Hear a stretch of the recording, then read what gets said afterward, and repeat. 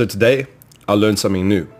I found out what a seed shrimp is, and I found it in this body of water. I noticed a tiny little creature swimming around in the top of my maple syrup resurrection jar, and I had to explore what this little creature was.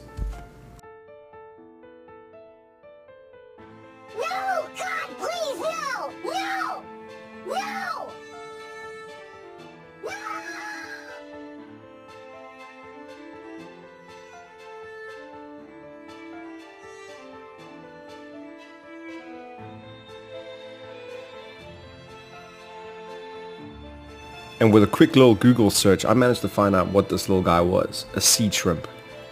These guys are awesome. Kind of looks like my balls.